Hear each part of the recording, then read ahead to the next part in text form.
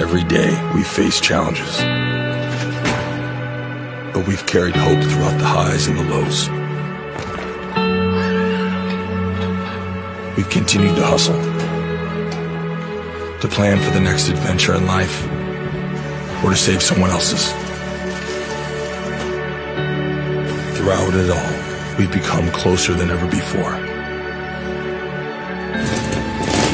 Our next chapter might start with small steps. New roads we've waited patiently to explore, or the familiar ones that take us home. The road always leads us back to exactly where we are supposed to be. We may dream of the destination, but the real reward is the journey. United we will ride.